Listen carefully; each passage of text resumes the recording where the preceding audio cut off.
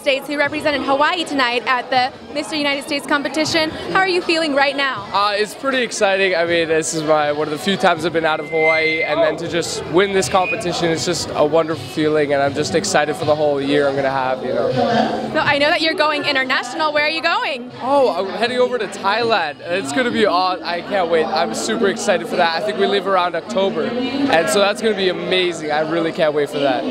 So when you're not stealing our hearts as Mr. Teen Hawaii slash Mr. Teen United States now, what do you do in your free time for fun? Um, I love to surf. I love to just hang out with my friends. I school's a full-time job, so there's that. Um, I'm also ROTC. That's my main thing. I love to just uh, I help others. You know, leadership. That's what I'm all about. You know.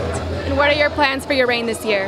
Um, I plan to. I want to help teens. You know, a lot of teens have a lot of disrespect nowadays, and they just. And I really want to show them that even you can do this on your own, but also the ROTC program can really help. It's it really made a big impact on my life, and I know it can help a lot of teens around the world.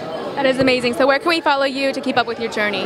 Um, I definitely have an Instagram. You can follow me. Um, my Facebook, uh, Noah Splajt, S P L A J T.